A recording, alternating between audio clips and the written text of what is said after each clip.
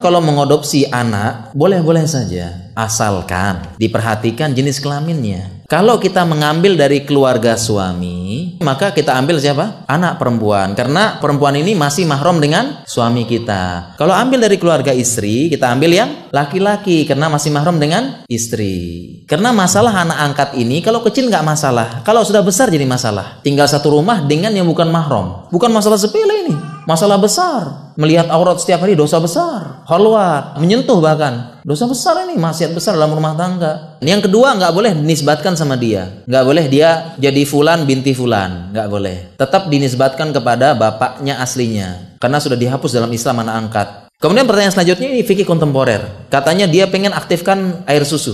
Dengan teknologi di zaman sekarang, perempuan yang nggak punya anak bisa keluar susunya. Bisa tuh. Walaupun tingkat keberhasilannya sedikit tapi bisa. Nah, ini pertanyaan ini maksudnya dia pengen ikut itu kemudian nyusui anak ini sehingga jadi mahram katanya. Apakah bisa jadi mahram apa enggak? Pendapat terkuat nggak bisa.